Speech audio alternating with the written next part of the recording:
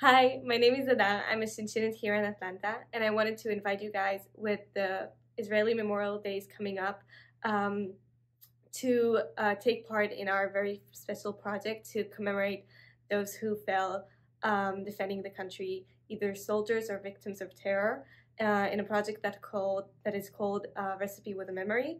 That project will in that project we will share a recipe uh, of someone close to the community or for us, um, and we will tell their life story from like this recipe.